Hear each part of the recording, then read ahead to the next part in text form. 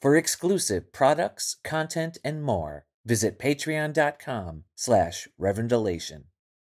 When you can see those holy flashes of heavenly flame that happen in a person's life, like we observe in our sister Etter, when someone is healed, it is because her consciousness and Christ's are one. She is fused onto God.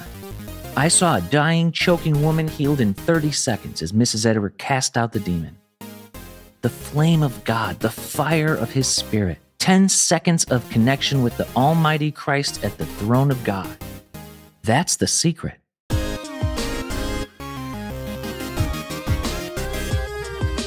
In Touch with the Power of God by John G. Lake. I would love to get you in touch with the Son of God for five minutes. I'd like to see the streams of God's lightning come down for 10 minutes. I wonder what would happen. A few months ago, I was out of town, and when I returned, we discovered Mrs. Lake wasn't at home. It was just time to leave for the afternoon service. Just then, someone came in and said, Your secretary, Mrs. Graham, is in the throes of death, and your wife is with her. So I hurried down to the place. When I got there, the wife of one of my ministers met me at the door and said, You're too late. She's gone. And as I stepped in, I met the minister coming out of the room. He said, She hasn't breathed for a long time. But as I looked down at that woman and thought of how God Almighty, three years before, had raised her out of death, after her womb and ovaries and tubes had been removed in operations, and God Almighty had given them back to her, after which she had married and conceived, my heart flamed. I took that woman up off the pillow and called on God for the lightnings of heaven to blast the power of death and deliver her.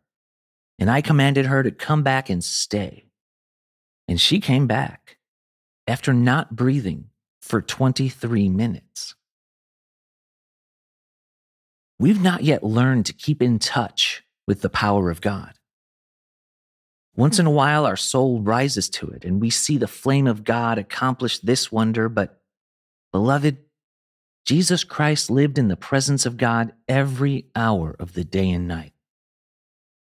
Never a word proceeded from the mouth of Jesus Christ but that which was God's word. The words that I speak to you, they are spirit and they are life. When you and I are lost in the Son of God, and the fires of Jesus burn in our hearts like they did in him, our words will be the words of spirit and of life, and there will be no death in them. But, beloved, we are on the way. I've read church history because my heart was searching for the truth of God. I've witnessed with my own eyes the most amazing manifestations of psychological power.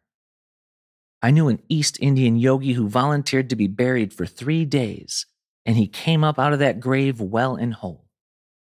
I saw them put a man in a psychic state and place a stone 15 inches square on his body, with his feet on one chair and his head on another, and strike that stone with a 25 pound sledgehammer seven times until it broke in two. I watched these things and I said, these are only on the psychological plane. Beyond that is the spirit plane and the amazing wonder of the Holy Spirit of God. And if God got hold of my spirit for 10 minutes, he could do something 10,000 times greater than that. Jesus was the triumphant one.